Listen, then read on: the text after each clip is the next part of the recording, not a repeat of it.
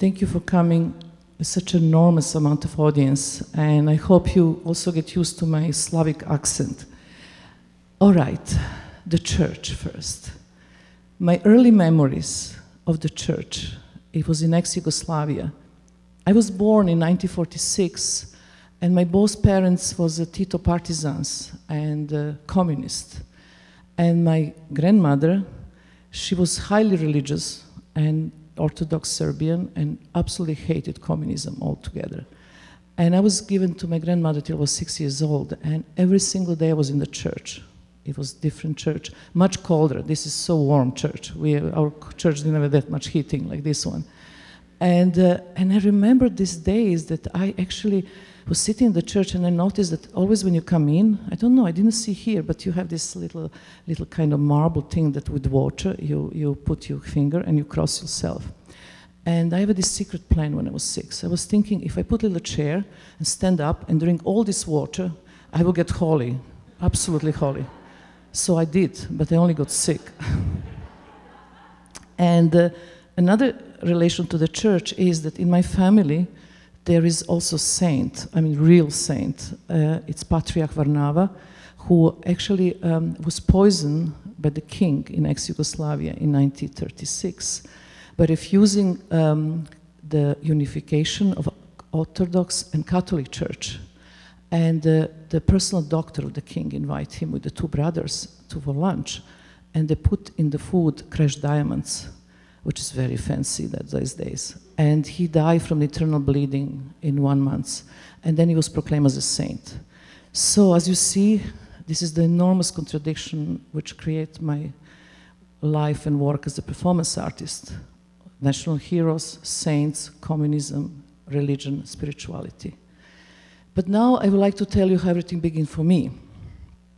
So since very early age, I was painting everywhere, everything I could find out, the walls, the floors, the family, just everything. And I was always jealous of Mozart because he started with a seven, but my first exhibition, I was 12. And when I was 14, you know, I asked my father, my biggest wish for the birthday, give me the oil painting to paint because I want to be a serious artist. And my father, oh, he was a soldier, he didn't know anything about art. So he invited one of his uh, ex-soldier who become, you know, abstract painter and study in Paris to come and help. So he came and went to the shop and we bought lots of different things, all kinds of boxes and canvases. And he, this man gave me my first painting lesson. And this painting lesson was very important to me for the later on development, so I'm going to tell you about. So I had a little room, which was my studio, 14 years old. So he cut the uh, pieces of canvas irregular, not stretching on any kind of frame, just irregular. Put on the floor, take one can with the glue, just spray over, then you put some cement over top of the glue. Then you put some green pigment, red pigment, lots of yellow pigment. Then he took and put gasoline all over the place. Then he take a match, throw on this, and everything explode. And he look at me and he say, this is a sunset, and left. so, if you think 14 years old and first painting lesson is impressive, I stay for a long time watching, you know, the, drying on this sunset and drying for weeks and weeks. And then when the, this whole thing dry, very carefully, I put with two nails against on the wall and left for the holidays with my parents. It was August. When I came back, the sun was hitting directly to this sunset, so the old glue melted and just fall down. And only what was left, it was just kind of dirt and a little bit ashes on the floor. And um, I didn't understand at that moment how important this lesson was.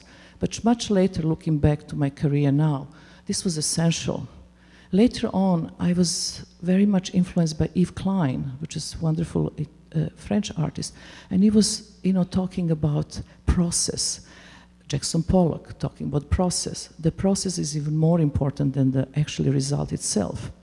And uh, coming back later on and doing performance art, the process is everything. You know, on the end, there is no result because performance art is the most immaterial, except the music, form of art ever. So the only what is left actually in the direct dialogue with the audience, it's the memory. So that little lesson really, it's kind of was based on my work. And then, you know, I start painting. Still, I was painting. I was painting clouds. I was painting my dreams, and I was painting lots of clouds. And I was 18, 19 in those days. And then I had all these very complicated ideas of clouds. Clouds were coming. Clouds were there. Black clouds.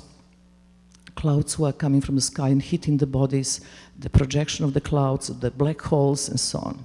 And one day I was lying on the on the grass, and looking the sky just to study the clouds. It was only blue sky, there was no one cloud there. And uh, from nowhere came about 12 the ultrasonic aeroplanes, military, and start making these incredible drawings. You know, when they come and they make these drawings so white on the sky. And I look this drawing, and I look how the drawing disappear, and this blue sky again. And for me, that moment, it was some kind of spiritual revelation I remember I was like in a trance. I stood up. I said to myself, oh my God, but I don't need to go to studio and I don't need to make two-dimensional work anymore. I am free. I can do anything I want. I can use my body. I can use fire, water, air, earth, air, whatever I want and do the work. And that's how I actually discover that, um, you know, become performance artist. And the first time I made performance, the energy for me was so strong, so incredibly shaking my, my whole soul that I knew that I could not do anything else. And you know, for another art, for an artist, when I was teaching, I teach a lot in, in the past. When I was teaching, I was always saying to my students, which is so important, is to know who you really are.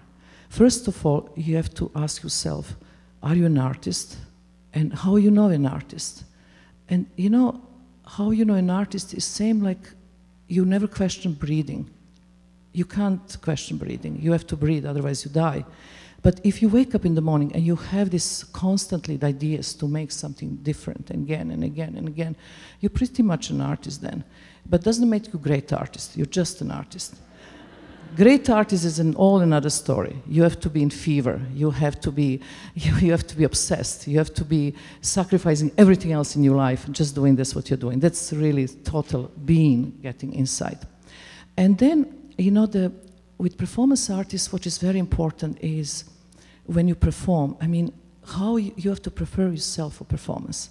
Uh, Brancusi, which was the great Romanian uh, sculptor, said once, which is so important is not what are you doing. I mean, you can, you know, do whatever, paintings, video, I don't know, architecture, but what most important is from which state of mind you're doing what you're doing. State of mind is everything. That means that, you know, you have to kind of create charismatic state of mind and focus totally. And then the work comes in the best possible way.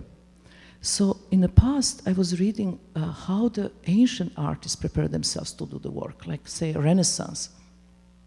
Cennino Cennini was writing this text about preparation of, let's say, Michelangelo, Leonardo to make the, the big work of art. So he suggests this kind of preparation. Three months, don't eat meat before you start the work. Two months, stop drinking wine. One month, no sexual intercourse and three weeks before, you put your right hand into the plaster, completely motionless. And the day you want to start the work, you break the plaster, you take your, your pencil or with your brush, and then you can make perfect circle. You're ready. And uh, in the past, if you talk about ancient culture, like you know in China or Japan, people will go to the big top of the mountains and they will meditate and they will kind of confront themselves with something they call chi energy. And I developed my own system called cleaning the house.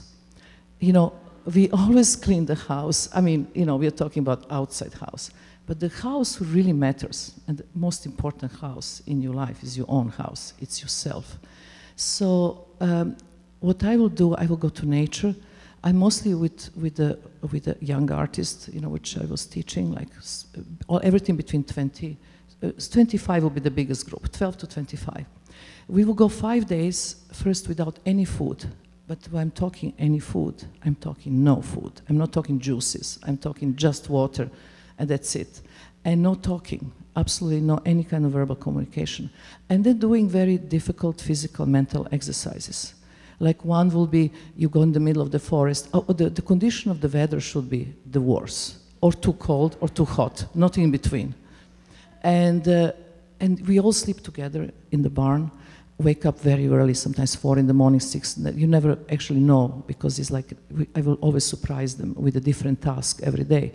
So we'll go in the middle of the forest with blindfold, and uh, you have to find a way home without seeing, because an artist have to see with all body like a blind man. You have to be sen sensitive. You have to see in the back of you have like the side. You have to have the eyes on the back of, of you of you of your head, and uh, so that would be one exercise, and so many different ones. Basically, is to uh, focus on your perception, on your willpower, to see how you confront with the mental and physical limits, and so on and so on. So all this kind of stuff, because you can't learn performance to do you have it or you don't have it. It's kind of inherited, a genetic thing. But what you can learn is to, is to focus and to actually train your body for the really difficult task. Performance art in, in the early 70s, um, it was nobody territory. And for many, many years was nobody territory. It was a kind of alternative form of art. In the beginning was same with photography and video. But now video and photography is the mainstream art, but performance never. So now I'm probably the only one left from my generation who still perform. And my task was, and my big dream, this is like 40 years of, of work, to really place performance in the, as a mainstream art form. And this is happening because this audience today actually proved that maybe is mainstream, because otherwise why you come to listen to me? So, uh, so many different things to say. You know, one other thing that I have to clarify, what is the difference between performance and theater? Because so many people kind of mix up these things. In an early time, it was very big difference. Now it's not so much because so many elements of performance art enter to theater, enter to cinema, enter to video, enter to MTV, to fashion. So it's a kind of big mix. But in early days, it was very simple. Theater is very simple the knife is not the knife, and the blood is ketchup. In a, in a performance, blood is real, and ketchup is blood, and, and the ketchup is real blood. so it's very clear. Performance is not rehearsing, is not repeating, is the new for the audience, us for the performer doing it, and, um, and it's serious business. I don't say the theater is not, I just say it's different. And um, another thing which is so important to say, it's um, uh, what is art about? What, what, you know, what is the aim of an artist and why, you know, the, what, why perform is such an important tool? Uh, I, if I think about hierarchy of art, and I think that art is not democratic in any way, I always believe that the music is the highest form of art. And because, just because of the nature of the music, of nature is such an immaterial, and goes to your body straight, doesn't need any object between. And then I really think it's subjective. Of course, we can argue on that, but it's subjective. Performance will be the second one. And in the beginning, when artist is insecure and the young artist, in my case, I need so many props and so many things around. But the more you learn um, about that charismatic space, and the more you learn about energy and how you can take energy of the audience, transform it, and give it back to her, the more you don't need anything. And basically, it's just pure presence. And this is why the, the my last performance, which I done in MoMA, which uh, actually lasts 736 hours, three months performing, every single day seven hours, every Friday 10 hours because museum is open longer. Where such, where such a kind of, um, kind of effect on people. I was nothing. I had just a table and two chairs. And the last months I removed the table. It was not necessary. It was just two chairs. And I'm really thinking of something even less, if it's possible, even less. But basically, it's so important um, in the performance to focus on presence because we always think about past, what happened, we think about future, which didn't happen, but the only reality we ever have is the present. And, and that's the only thing we, we got in our lives. And we always, this presence fleets. And the performance is how to put audience and the performer in this moment here and now. And when you are in the moment here and now, the time don't exist. There's no time. In presence, time is not there. And then many things happen. Then is this profound experience of reality, of the, of, of the luminosity of the, of the human being. It's so many things. And uh, art have to have so many functions. You know, every piece of art have to have layers of meaning, have to be spiritual, political, have to predict future, have to disturb, have to ask questions, not necessarily answer them. And um, that's and really and the most important of all, the art have to lift human spirit. That's the, I think the most important function ever. And then every you know the every artist have to find which form he have to choose the best to express himself. And I see performance as a tool. Painting is tool, sculpture is a tool. You know, they are the tools, and some artists fit better the one tool than another. And mine was the performance.